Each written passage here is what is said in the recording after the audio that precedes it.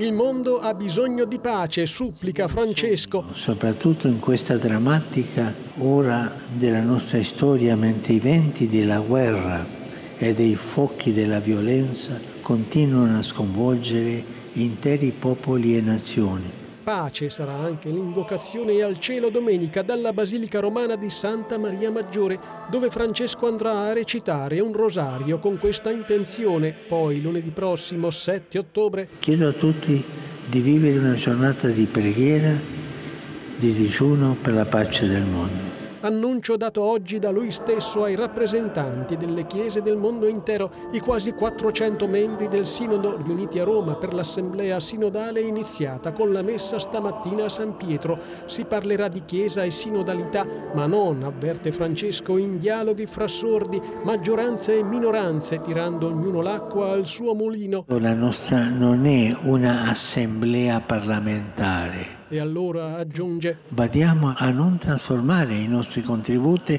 in puntigli da difendere o agende da imporre. Si tratta piuttosto di essere aperti nel pensare e salti nella fede, con umiltà. Il più alto nella Chiesa è quello che si abbassa di più.